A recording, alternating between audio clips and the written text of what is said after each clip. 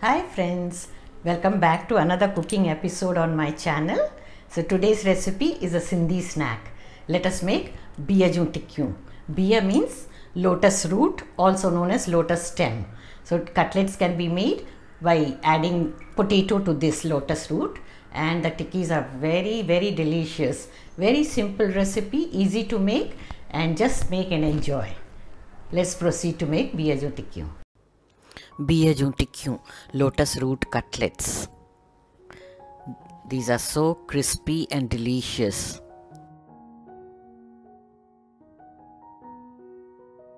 To make these, I've taken one lotus root or also known as lotus stem, scraped and boiled it. Two potatoes boiled, oil for frying, and we have breadcrumbs about 2 tablespoons, 1 tablespoon of crushed anardana, quarter teaspoon of crushed ajwain or carom seeds, half teaspoon of garam masala, some salt to taste, one green chili. Since it's large, I'm taking one. You can take two if they are smaller. Ingredients list can be checked in the description box also. Now first we are going to mince or crush these lotus stems which are already boiled. Put them in a mini chopper and mince them coarsely. The coarser texture gives the appearance of mincemeat.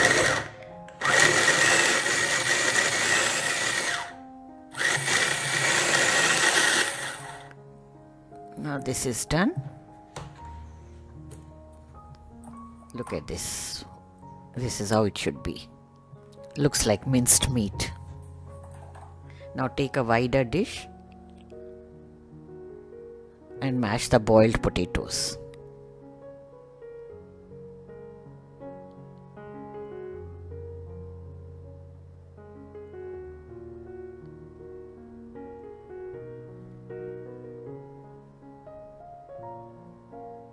Now add the minced lotus root.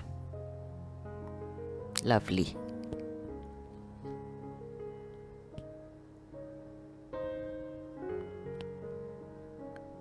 Next go in all the spices and the salt one by one. Add the green chilies. You can add more if you like spicy. Ajwain, anardana, pomegranate, salt to taste and breadcrumbs. I'm adding some coriander leaves also. These are frozen ones.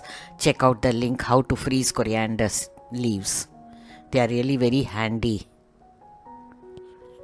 Now give it a nice mix. All the ingredients should be mixed very well.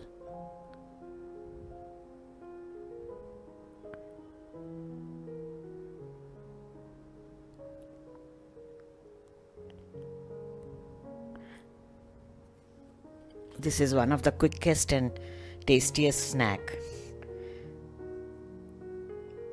Check the salt now we will start making the cutlets. Take a smaller portion and shape it into cutlet. I am making oval shape. You can make any shape you desire, round, heart shape,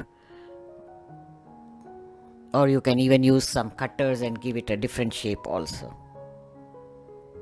But this is the usual traditional ones.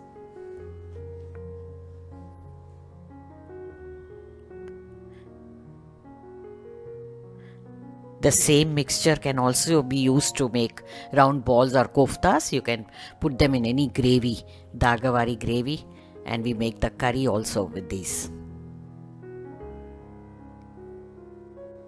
Here we go, cutlets are done. I have dusted them with some corn flour or cornstarch. This way, if you are not frying immediately, they don't get stuck to each other. And also, when you are frying, it gets a nice and crispier texture outside. Heat the oil and slide in 3 or 4 cutlets at a time.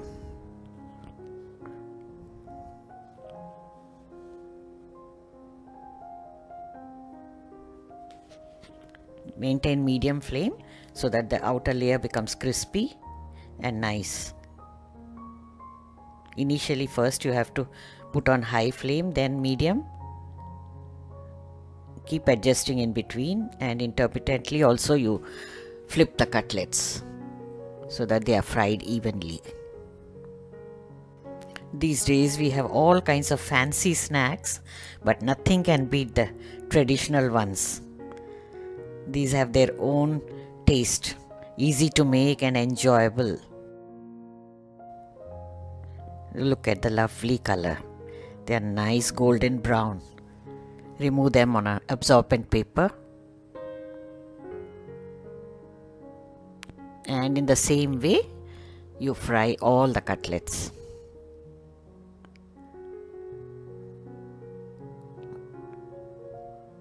This is really very nice snack friends. You must try it. I'm sure you're going to love these cutlets.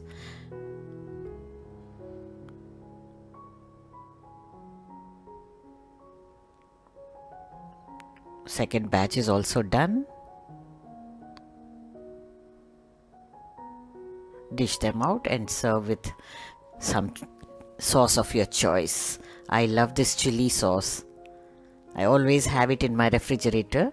I've already posted the video also. You can check it out. I'm sharing the link in the description box. So make and enjoy these irresistible and crispy cutlets.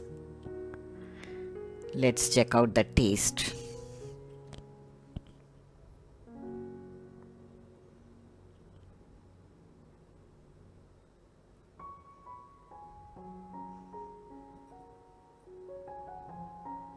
You can also serve them with mint chutney, they taste very good.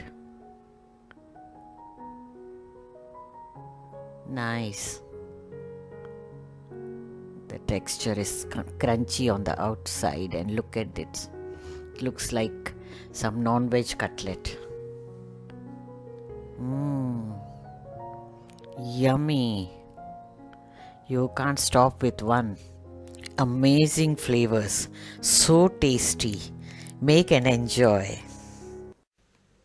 If you are a new visitor to the channel, do subscribe and click on the bell icon to get notifications about the new uploads.